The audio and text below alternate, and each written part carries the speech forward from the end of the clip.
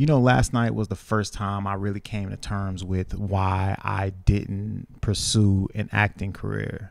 Like for the first time, like I was really thinking about it. And before you say anything, yes, if you know me, if you've seen if you've seen my content before, yes, I used to be an actor. When I was in high school, I was training to be an actor. I was serious. I did stage plays. I did a bunch of stuff. Won won an, uh, an award.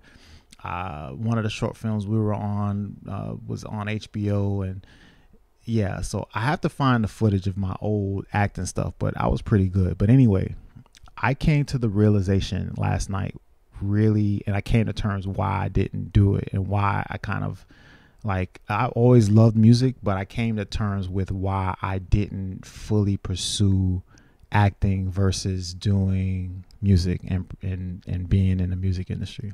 And the reason why is because I knew that if I really dove into acting and became an actor, I would be one of those actors that loses themselves in roles.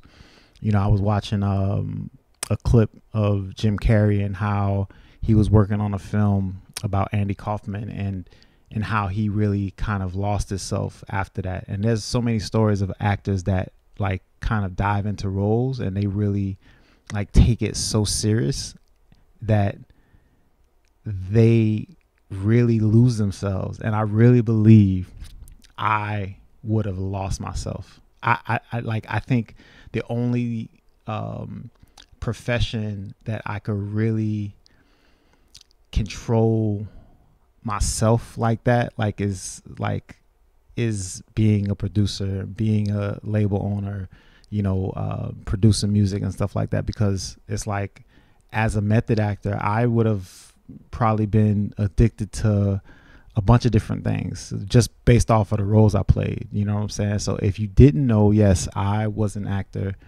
Um, if you're if you're wondering if I would probably act again, I would probably do small roles, but I would never do anything that is like really too serious because I feel like I I lose myself. And and and that's also why I think you don't really see as many actors like method actors on social media like that because it's like they be in their own world just to kind of backtrack a little bit. Like when i kind of like retrieved my calling of being um you know starting a label and stuff like that that was back when i was in high school.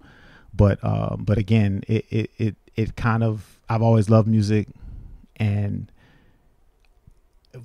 it was just something in me to say, yo, like you can do you're you're great at acting, but hey, it, you gonna lose yourself. So that's that's just a little fun fact about me.